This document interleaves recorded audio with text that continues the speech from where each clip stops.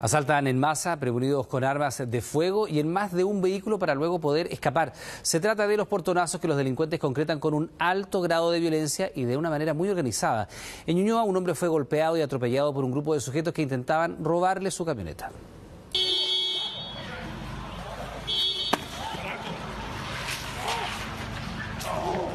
Estaban pegando patadas de todo para que, me imagino, para que soltar las llaves.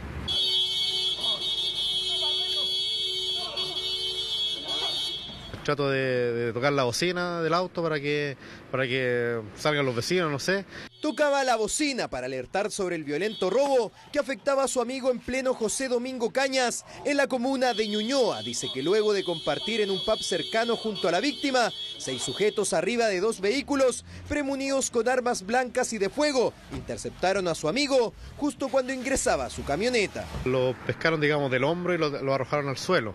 Y, en este momento yo me imagino que, no quería soltar las llaves y le golpearon en el suelo, lo arrastraron. Tal como muestra el video, un delincuente arrastra a la víctima por el pavimento. Según Francisco Pinochet, los delincuentes no solo arrastraron y golpearon a su amigo, sino que también lo atropellaron. Al intentar intervenir, dice que los delincuentes se lo impidieron. Yo me acerqué con el auto para poder eh, asustarlo en un momento, pero llegaron tres autos de forma inmediata a abordar a, esta persona. Tras dos minutos de lucha, la víctima entrega las llaves de su camioneta y escapa del lugar. Testigos cuentan que los delincuentes actuaron de manera muy organizada. Lo tenían botado en el suelo, le estaban pegando y otros autos esperaban como arrancarse, me imagino, para que le pasaran las llaves, algo era eso, porque si no, no sé por qué le pegaban tanto. Era mucho, era muy rápido y, muy, muy organizado el, el, delito. Familiares de la víctima vía teléfono nos contaron que la víctima se encuentra en reposo y que aún se recupera de este violento episodio. Los robos en masa al parecer se han convertido en una estrategia para los delincuentes. Hace pocos días, en Vitacura se vivió un hecho similar. Solo ponga atención.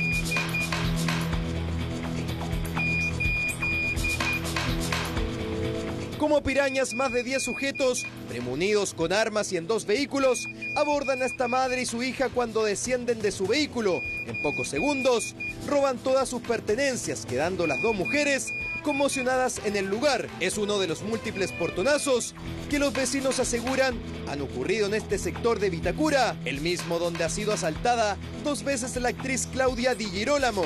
Eso pese a que han tomado toda clase de resguardos.